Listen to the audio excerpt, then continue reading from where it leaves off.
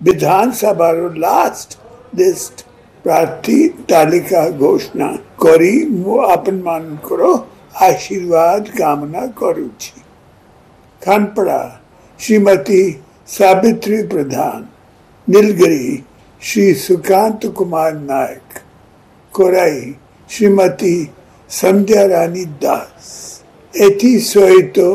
पूर्व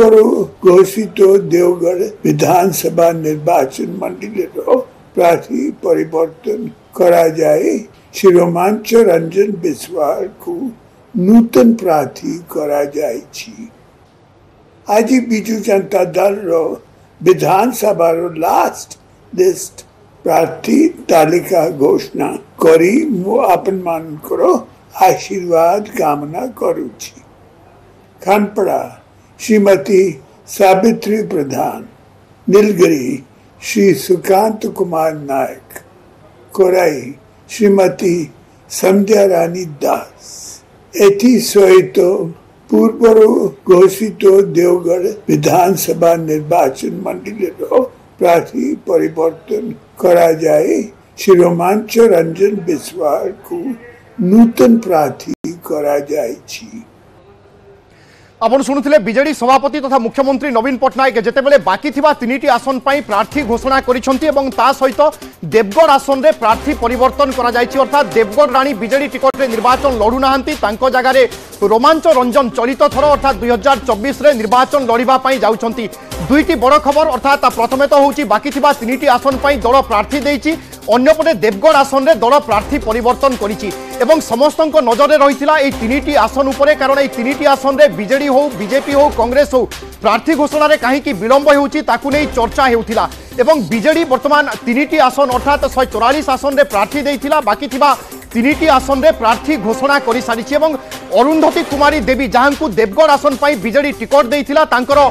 পরিবর্তন করা যাই অর্থাৎ তাঁর বদলের রোমাঞ্চরঞ্জন বিশ্বাল বর্তমান টিকট দিয়েছি দল, অর্থাৎ অরুন্ধতী কুমারী দেবী চলিত থর বিজেডি